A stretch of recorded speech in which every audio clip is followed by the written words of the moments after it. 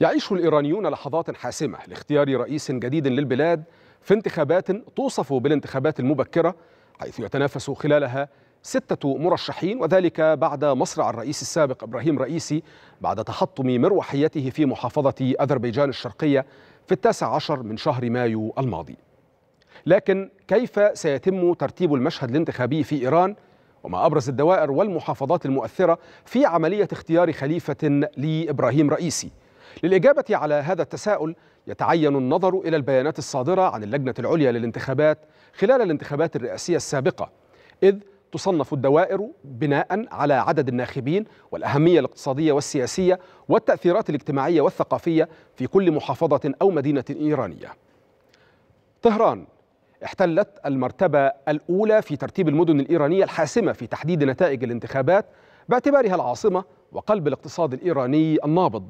إضافة إلى كونها أكبر المدن من حيث عدد الناخبين بواقع تسعة ملايين وثمانمائة وخمسة عشر ألف ناخب مؤهل للإدلاء بأصواته وفقا لآخر إحصاء خلال آخر انتخابات أجريت. بعد ذلك نتحول إلى خراسان رضوي الواقعة في شمال شرقي إيران والتي أتت ثانية من حيث المحافظات الأكثر تأثيرا. تعود أهميتها إلى كونها واحدة من بين أكبر معاقل التيارات السياسية الأصولية والمحافظة إضافة إلى وقوع مدينة مشهد ذات الأثر والبعد الديني الكبير لدى أبناء الطائفة الشيعية داخل حدود هذه المنطقة خراسان رضوي كما يوجد بها نحو أربعة ملايين وستمائة وستة عشر ألف شخص لهم حق التصويت. بعد ذلك تأتي محافظة أصفهان والتي تلقب بقلب إيران النووي. تصنف كواحدة من بين أكبر خمس محافظات إسهاما في الناتج الإجمالي لإيران وفق بيانات مركز الإحصاء الإيراني. كما تعتبر العصب الصناعية والتكنولوجية في إيران وتشتهر تاريخيا بالغنى والتنوع الثقافي والهندسة المعمارية الفريدة التي تحتل المرتبة الثالثة من حيث عدد الناخبين بواقع ثلاثة ملايين وستمائة وأربعة وثلاثين ألف مواطن لهم حق التصويت. تبريز تبرز هي من بعد ذلك كعاصمة لمحافظة أذربيجان الشرقية.